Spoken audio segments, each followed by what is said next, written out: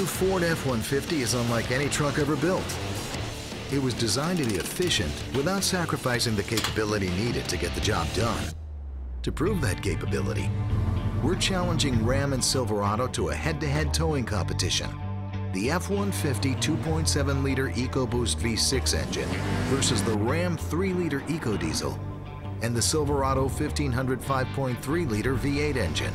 2.7 liter EcoBoost is about half the size of the mid-range V8s. Welcome to the mecca of torque and towing test sites, Arizona's Davis Dam Road, where truck manufacturers flock for SAE certification thanks to its 13-mile climb up a 6% grade and temperatures that top 100 degrees.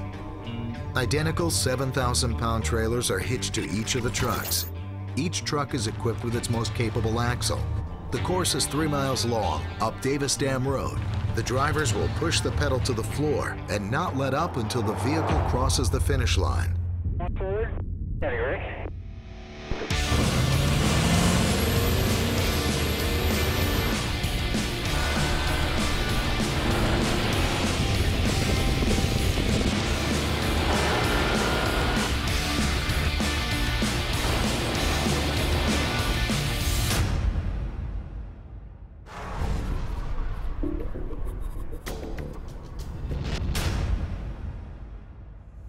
Each pair of trucks will make three runs, switching drivers and lanes between each race to eliminate variables.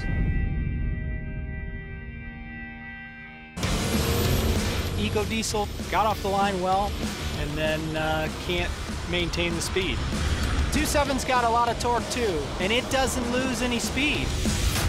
The new F-150, with its 2.7-liter EcoBoost engine, easily beats the Ram EcoDiesel by a hefty margin in all three runs. The all-new F-150 is over 700 pounds lighter than the current F-150. That's what allows us to go up against trucks like the 5 3-liter V8 Silverado.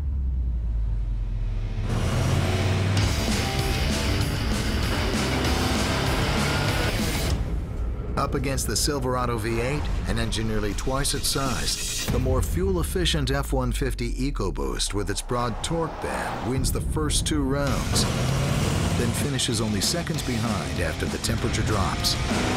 And in the hottest part of the day, the 2.7-liter EcoBoost performed the best.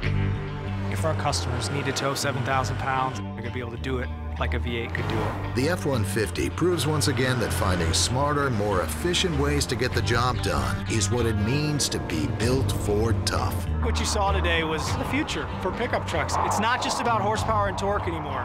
It's about power to weight, being able to give customers better fuel economy without compromise.